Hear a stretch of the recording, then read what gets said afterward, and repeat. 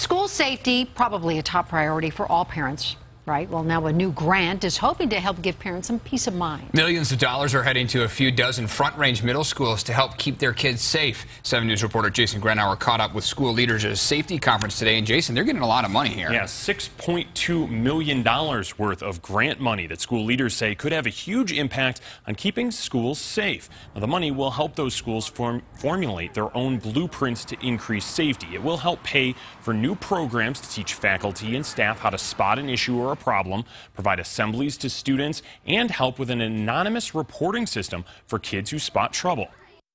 So much of the work that we do in school safety is reactive. We're tired of being firefighters.